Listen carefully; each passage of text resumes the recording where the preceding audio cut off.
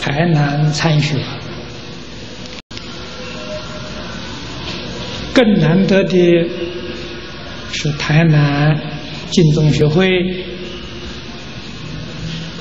与学校方面共同协助，成就这一次殊胜的法会，这是我们由衷的感激。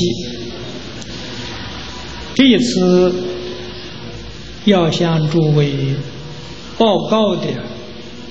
是《楞严经》里面的一章啊，大势至菩萨念佛圆通章。那么诸位都拿到这个拿到这个小册子啊。那么这个册子里面内容呢，是前清。乾隆年间，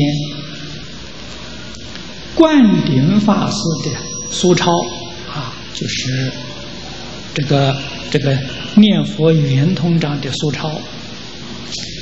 这个苏钞的内容很丰富，如果依照苏超来介绍，那么至少要讲一个月。